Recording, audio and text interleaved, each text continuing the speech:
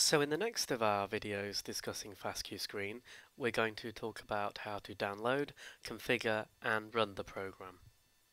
FastQ Screen can be downloaded from the Babraham Bioinformatics website. Once here, go to the Projects page and then go to FastQ Screen and click on the link. This will take you to the FastQ Screen homepage. To download FastQ Screen, click on the Download Now button. This will take you to the FastQ Screen download page. Here you will see a README file and release notes. You'll also see a useful FastQ Screen manual which is available in HTML format giving you an overview on how to run the program. Also on this page you will see the FastQ Screen download archive and a test dataset which you can use to check that the FastQ screen on your system is functioning correctly. So FastQ screen is best run in a Linux environment. So the best way to copy the program is to copy the link uh, like so and then type in wget on the command line in your Unix or Linux environment and provide the full path to the FastQ Screen archive. This is quite small and should take about a second to download and there we will see it there. Also, the first time you use FastQ Screen, it's a good idea to download the test dataset to make sure that FastQ Screen is functioning correctly. To do this, go back to the Downloads page, and when you are there, copy the link to the test dataset and download as before.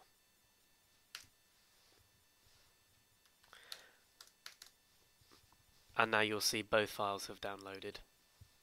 The next step is to uncompress these tar archives. This can be done simply with the following command. tar xvzf and then the name of the tar archive. So first of all let's do the software and there you will see the files being uncompressed. If you type in ls you'll see a new folder has appeared and now we can do the test data set as well. So that's simply done in the same way. xvzf FastQ screen test dataset and now they will both have been uncompressed. So now that we have downloaded FastQ screen we need to configure it.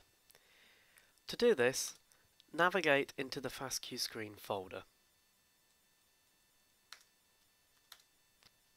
In here you will see a number of files.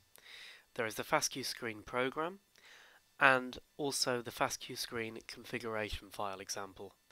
This is what we will edit to set up FastQ screen on your system.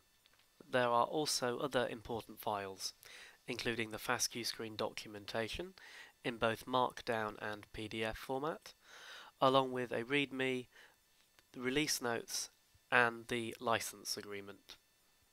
So now we need to create a configuration file. The best way to do this is to copy the example that is already there and call it fastqscreen.conf and it will have been created like so. When FastQ screen runs, it looks automatically for a file called fastqscreenconf in the same folder in which the FastQ screen software is found.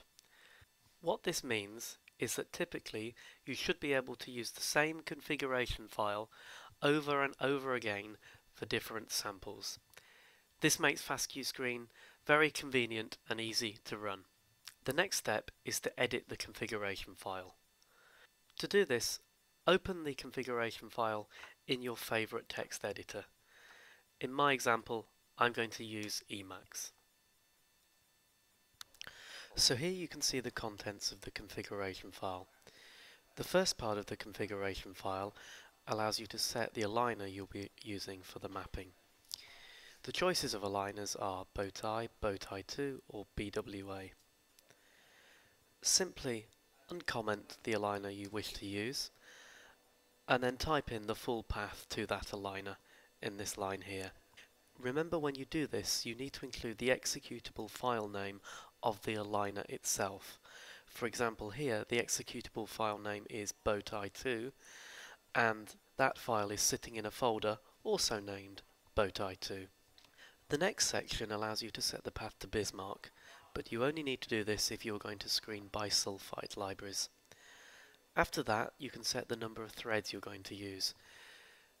This will be limited by the number of cores on your machine.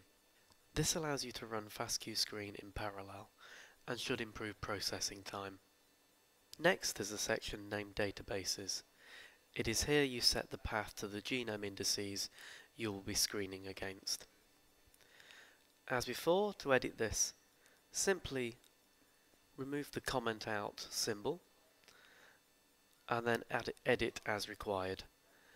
Here I'm going to be not mapping against the Human Genome Build 37 but 38 which is in a folder named 38 and the base name of the genome indices is Homo sapiens GRCH38. Please note that this base name refers to multiple files, i.e. the Homo sapiens GRCH38 is neither a folder nor a file name, but the base name of the Bowtie2 genome indices. I'm also going to set up mouse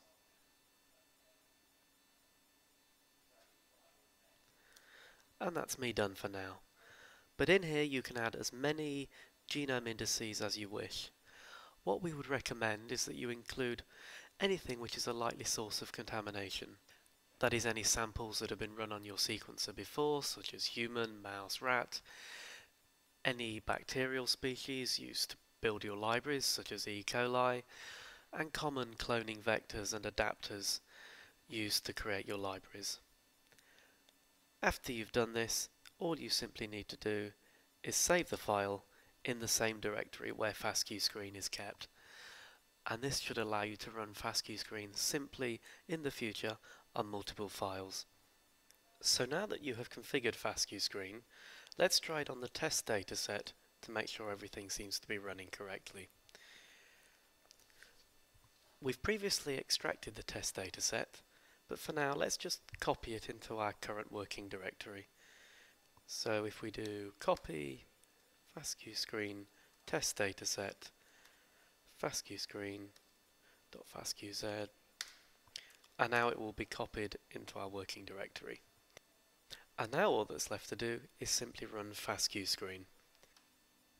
FastQScreen is an executable file, so all you need to do to run the program is type in the name of this executable file. In this case, it's found in the FastQScreen folder. So to run FastQScreen, type in like so, and then type the name of the file you wish to process, which here is the test dataset.